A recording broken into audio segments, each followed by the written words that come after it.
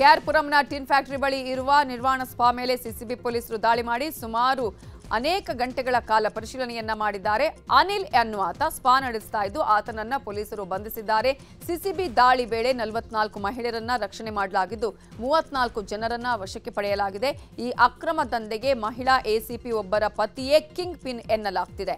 ಈ ಪ್ರಕರಣದ ಕುರಿತಂತೆ ಉನ್ನತ ಮಟ್ಟದ ತನಿಖೆಗೆ ಕಮಿಷನರ್ ದಯಾನಂದ್ ಆದೇಶಿಸಿದ್ದಾರೆ.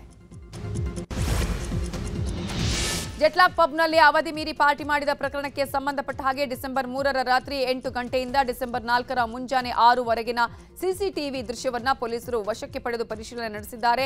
ಸುಮಾರು ಹತ್ತು ಗಂಟೆಗಳ ಸಿಸಿ ಕ್ಯಾಮೆರಾ ದೃಶ್ಯಾವಳಿಗಳಲ್ಲಿ ಹತ್ತಕ್ಕೂ ಹೆಚ್ಚು ಮಂದಿ ಪಾರ್ಟಿಯಲ್ಲಿ ಇರೋದು ಪತ್ತೆಯಾಗಿದೆ. ಕೆಲವರು ಪಾರ್ಟಿ ಮುಗಿಸುತ್ತಾ ಹೊರಟಿದ್ದು ನಾಲ್ಕೈದು ಮಂದಿ ಮಾತ್ರ ಬೆಳಗ್ಗೆ ಐದು ಮೂವತ್ತರವರೆಗೆ ಇದ್ರು ಎನ್ನಲಾಗ್ತಿದೆ. ಕನ್ನಡ ನಾಮಫಲಕ ಹೋರಾಟದಲ್ಲಿ ಪರಪ್ಪನ ಅಗ್ರಹಾರ ಜೈಲು ಸೇರಿರುವ ಕರವೇ ನಾರಾಯಣಗೌಡರಿಗೆ ಜಾಮೀನು ಸಿಕ್ಕಿದೆ. ದೇವನಹಳ್ಳಿ ಐದನೇ ಅಪರ ಜಿಲ್ಲಾ ಹಾಗೂ ಸತ್ರ ನ್ಯಾಯಾಲಯದಿಂದ ನಾರಾಯಣಗೌಡ ಸೇರಿ ಎಲ್ಲ ಇಪ್ಪತ್ತೊಂಬತ್ತು ಮಂದಿಗೆ ಷರತ್ತುಬದ್ಧ ಜಾಮೀನು ಕೊಟ್ಟು ತೀರ್ಪು ನೀಡಿದೆ. ತೀರ್ಪಿನ ಪ್ರತಿ ಜೈಲು ಅಧಿಕಾರಿಗೆ ತಲುಪುವಲ್ಲಿ ತಡವಾಗಿದ್ದರಿಂದ ನಾಳೆ ನಾರಾಯಣಗೌಡ ಜೈಲಿನಿಂದ ಬಿಡುಗಡೆಯಾಗಲಿದ್ದಾರೆ. ಹುಬ್ಬಳ್ಳಿ ಕಾರಾಗೃಹದಿಂದ ಕರಸೇವಕ ಶ್ರೀಕಾಂತ್ ಪೂಜಾರಿ ನಿನ್ನೆ ಬಿಡುಗಡೆಯಾಗಿದ್ದಾರೆ. ಜೈಲಿನಿಂದ ಬಿಡುಗಡೆಯಾಗ್ತಿದ್ದಂತೆ ಹಿಂದೂ ಮುಖಂಡರು, ಬಿಜೆಪಿ ನಾಯಕರು ಶ್ರೀಕಾಂತ್ ಪೂಜಾರಿಗೆ ಅದ್ದೂರಿ ಸ್ವಾಗತ ಕೋರಿದ್ರು. ಬಿಜೆಪಿ ಕಾರ್ಯಕರ್ತ ಎಚ್ ಎಸ್ ಕಿರಣ್ ರಾಮನ ಫೋಟೋ ಕೊಟ್ಟು ಶ್ರೀಕಾಂತ್ ಅವರನ್ನ ಸ್ವಾಗತಿಸಿದ್ರು. ಜೈಲಿನಿಂದ ರಿಲೀಸ್ ಆಗ್ತಿದ್ದಂತೆ ಶ್ರೀಕಾಂತ್ ಪೂಜಾರಿ ತುಳಜಾ ಭವಾನಿ ದೇವಸ್ಥಾನಕ್ಕೆ ತೆರಳಿ ದರ್ಶನ ಪಡೆದರು. ಹುಬ್ಬಳ್ಳಿಯಲ್ಲಿ ಶ್ರೀಕಾಂತ್ ಪೂಜಾರಿ ಬೆಂಬಲಿಸಿ ಪ್ರತಿಭಟನೆ ಮಾಡಿದ್ದ ಬಿಜೆಪಿಯ ನಲವತ್ಮೂರು ಜನರ ವಿರುದ್ಧ ಎಫ್ಐಆರ್ ದಾಖಲಾಗಿದೆ. ಹುಬ್ಬಳ್ಳಿ ಧಾರವಾಡ ಕಾಂಗ್ರೆಸ್ ಅಧ್ಯಕ್ಷ ಅಲ್ತಾಫ್ ಹಳ್ಳೂರ ದೂರು ಕೊಟ್ಟ ಹಿನ್ನೆಲೆಯಲ್ಲಿ ಕೇಸ್ ದಾಖಲಾಗಿದೆ. ವಿಪಕ್ಷ ನಾಯಕ ಆರ್ ಅಶೋಕ್ ಸೇರಿ ನಲವತ್ಮೂರು ಮಂದಿ ವಿರುದ್ಧ ಪ್ರಕರಣ ದಾಖಲಾಗಿದೆ. ಪ್ರತಿಭಟನೆ ವೇಳೆ ಸಿಎಂ ವಿರುದ್ಧ ಅವಾಚ್ಯ ಪದಗಳನ್ನು ಬಳಸಿ ಘೋಷಣೆ ಕೂಗಲಾಗಿದೆ ಮತ್ತು ಪ್ರಚೋದನಕಾರಿ ಭಾಷಣ ಮಾಡಿದ್ದಾರೆ ಅಂತ ಜನವರಿ ಐದರಂದು ಅಲ್ತಾಫ್ ದೂರು ನೀಡಿದರು. ತಾಯಿ ಮತ್ತು ಮಗನ ಮೇಲೆ ಬೀದಿ ನಾಯಿಗಳು ದಾಳಿ ನಡೆಸಿರುವ ಘಟನೆ ರಾಯಚೂರು ಜಿಲ್ಲೆಯ ಸಿಂಧನೂರಿನ ಆದರ್ಶ ಕಾಲೋನಿಯ ಅಕ್ಕ ಮಹಾದೇವಿ ಆಸ್ಪತ್ರೆ ಬಳಿ ನಡೆದಿದೆ.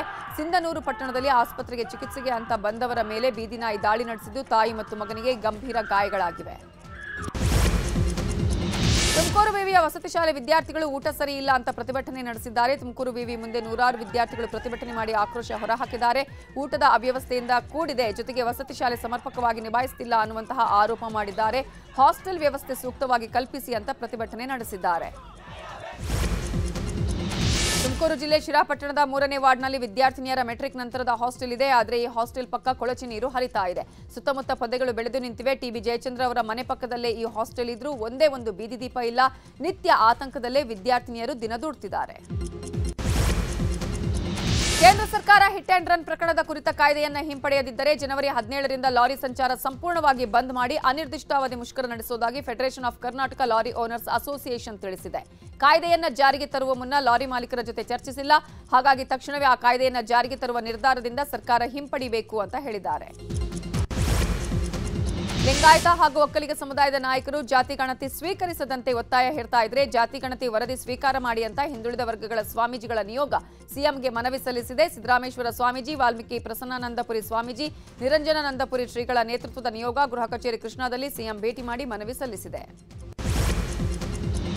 ಸಿಎಂ ಆರ್ಥಿಕ ಸಲಹೆಗಾರ ಬಸವರಾಜ ರಾಯರೆಡ್ಡಿ ಸಚಿವರಾಗುವ ಆಸೆಯನ್ನು ಹೊರಹಾಕಿದ್ದಾರೆ. ಕೊಪ್ಪಳದ ಕುಕನೂರಿನಲ್ಲಿ ಅಭಿನಂದನಾ ಸಮಾರಂಭದಲ್ಲಿ ಮಾತನಾಡಿದ ರಾಯರೆಡ್ಡಿ, ಜುಲೈ ನಂತರ ಸಚಿವ ಸಂಪುಟ ಪುನಾರಚನೆಯಾಗುತ್ತೆ. ಆಗ ನಾನು ಸಚಿವನಾಗ್ತೇನೆ. ಮುಖ್ಯಮಂತ್ರಿಗಳ ಒತ್ತಾಯದ ಮೇರೆಗೆ ಸಲಹೆಗಾರ ಹುದ್ದೆಯನ್ನು ಒಪ್ಪಿಕೊಂಡಿದ್ದೇನೆ ಅಂತ ಹೇಳಿದ್ದಾರೆ. ದಾವಣಗೆರೆಯಲ್ಲಿ ವ್ಯಕ್ತಿಯನ್ನ ಮಲದ ಗುಂಡಿಯಲ್ಲಿ ಇಳಿಸಿ ಕ್ಲೀನ್ ಮಾಡಿಸಲಾಗಿದೆ. ಈ ಬಗ್ಗೆ ರಾಜ್ಯ ಸಫಾಯಿ ಕರ್ಮಚಾರಿ ಆಯೋಗ, ರಾಜನಹಳ್ಳಿ ಜಾನಾಬಾಯಿ ಹಾಗೂ ರಾಜನಹಳ್ಳಿ ಶ್ರೀನಿವಾಸ ಮೂರ್ತಿ ಕಲ್ಯಾಣ ಮಂಟಪದ ಮಾಲೀಕರ ವಿರುದ್ಧ ಎಫ್ಐಆರ್ ದಾಖಲಿಸಿದೆ. ಎರಡ್ ಸಾವಿರದ ಹದಿಮೂರರ ಮ್ಯಾನ್ಯುವಲ್ ಸ್ಕ್ಯಾವೆಂಜರ್ ನಿಷೇಧ ಹಾಗೂ ಪುನರ್ವಸತಿ ಕಾಯ್ದೆ ಅನ್ವಯ ಎಫ್ಐಆರ್ ದಾಖಲಾಗಿದೆ. ನಿನ್ನೆ ಒಳಚರಂಡಿಯಲ್ಲಿ ಯುವಕನೊಬ್ಬನನ್ನ ಇಳಿಸಿ ಕ್ಲೀನ್ ಮಾಡಿಸಲಾಗ್ತಿತ್ತು. ರಾಮನಗರ ಜಿಲ್ಲೆಯಲ್ಲಿ ಕಾಡಾನೆಗಳ ದಾಳಿಗೆ ರೈತರು ಬಲಿಯಾಗ್ತಿದ್ದಾರೆ. ಕಳೆದ ಒಂದು ವರ್ಷದಲ್ಲಿ ಜಿಲ್ಲೆಯಲ್ಲಿ ಏಳು ಜನ ರೈತರು ಕಾಡಾನೆ ದಾಳಿಗೆ ಸಾವನ್ನಪ್ಪಿದ್ದಾರೆ.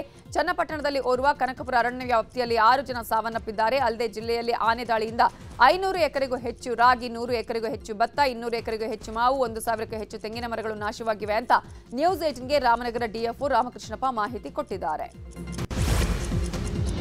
ಮಹಿಳಾ ಐಪಿಎಸ್ ಅಧಿಕಾರಿ ಶೋಭಾರಾಣಿಗೆ ಬೆದರಿಕೆ ಹಾಕಲಾಗಿದೆ ಎನ್ನಲಾಗಿದೆ. ಬೈಕ್ ಸವಾರ ಬೆದರಿಕೆ ಹಾಕಿ ನಿಂದನೆ ಮಾಡಿದ ಆರೋಪ ಕೇಳಿ ಬಂದಿದೆ. ತುಮಕೂರು ರಸ್ತೆಯ ಗೊರಗುಂಟೆಪಾಳ್ಯ ಬಳಿ ಘಟನೆ ನಡೆದಿದ್ದು, ಕೆಲಸ ಮುಗಿಸಿ ಎಸ್ಪಿ ಶೋಭಾರಾಣಿ ಮನೆಗೆ ಹೊರಟಿದ್ರು. ಈ ವೇಳೆ ಕಾರಿಗೆ, ಬೈಕಲ್ಲಿ ಡಿಕ್ಕಿ ಹೊಡೆದಿದ್ದ ಯುವಕ, ಯುವಕನಿಗೆ ಬುದ್ಧಿವಾದ ಹೇಳ್ತಾ ಇದ್ದ ಕಾರು ಚಾಲಕ, ಆಗ ಚಾಲಕನ ಬೆಂಬಲಕ್ಕೆ ಬಂದಿದ್ರು ಎಸ್ಪಿ ಶೋಭಾರಾಣಿ ಈ ವೇಳೆ ಅವಾಚ್ಯ ಶಬ್ದಗಳಿಂದ ನಿಂದಿಸಿ ಯುವಕ ಬೆದರಿಕೆ ಹಾಕಿದ್ದಾನೆ.